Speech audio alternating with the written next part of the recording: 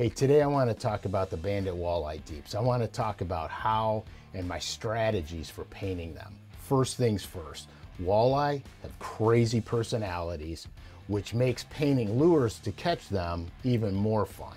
So let's look at the walleye. The biggest, most standout feature of the walleye is his large eyes.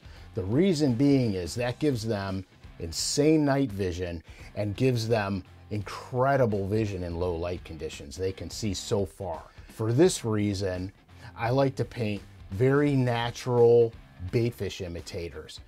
And I love fishing these when the walleye are actively feeding. The other thing is crazy, out of control fluorescent color patterns.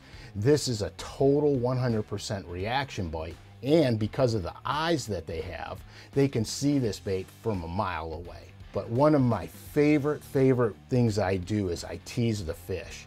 I'll paint a natural shad pattern and then I'll paint a hot spot or a bullseye on the natural shad pattern bait.